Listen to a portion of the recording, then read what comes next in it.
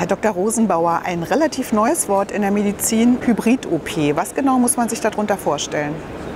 Hybrid wird ja heute in vielen Dingen benutzt. Hybrid bedeutet eigentlich Zusammenarbeit von verschiedenen Fakultäten und im Hybrid-OP gilt es insbesondere um Bildgebungsverfahren, wo Sie Bilder der Gefäße darstellen können, die Sie sowohl für die Diagnostik wie auch für die OP selber gebrauchen können. Insofern ist unter Hybrid zu verstehen das Zusammenarbeiten verschiedener Kombinationen der Diagnostik und OP-Verfahren.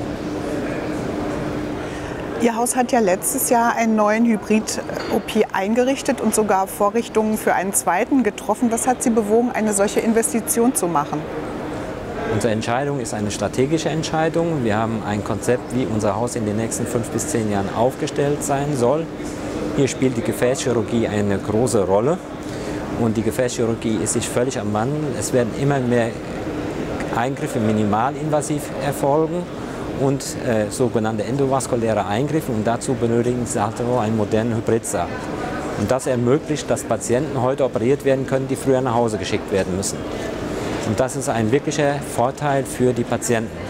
Und insbesondere kann Diagnostik und Operation in einem gleichen Zeitraum erfolgen. Früher mussten die Patienten wieder nach Hause geschickt werden oder in OP geschoben werden. Das geht heute alles gleich. Was hat sich seit der Installation des Hybrid-OPs bei Ihnen im Haus geändert?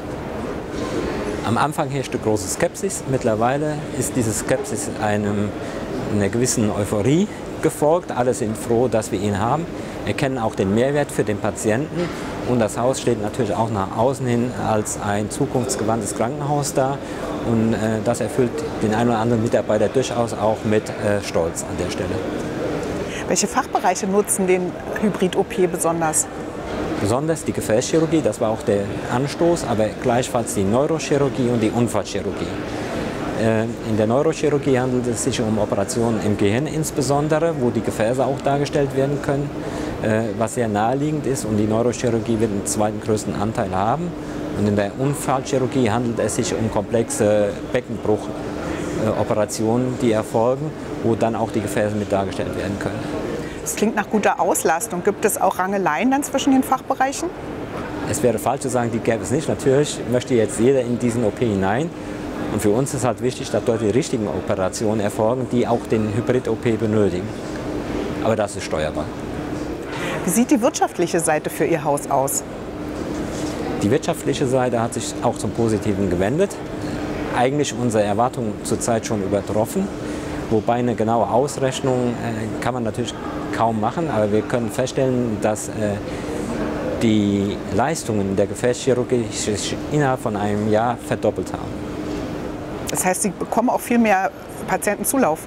Der Patientenzulauf ist extrem gestiegen, auch überregional, weil diese komplexen Operationen halt nicht an jeder Stelle an gewendet werden können und wir uns da natürlich ein Alleinstellungsmerkmal in der Region äh, herausgearbeitet haben. Können Sie was zu den Fallzahlen sagen, wie die gestiegen sind? Äh, wie gesagt, die Fallzahlen haben sich verdoppelt. Also in der Medizin gibt es nach Punkten. Wir haben in der Gefäßchirurgie 1100 Punkte und haben nach anderthalb Jahren jetzt 2300 Punkte. Mit anderen Worten, Sie sind sehr zufrieden, kann man das so sagen? Wir sind sehr zufrieden, weil die Überlegungen halt sich als richtig bewiesen haben und vor allem wir dem Menschen, dem Patienten, der ja immer noch im Mittelpunkt stehen sollte, helfen können. Es können Menschen mittlerweile mit dieser Methode äh, operiert bzw. geholfen werden, die vorher nach Hause geschickt werden mussten.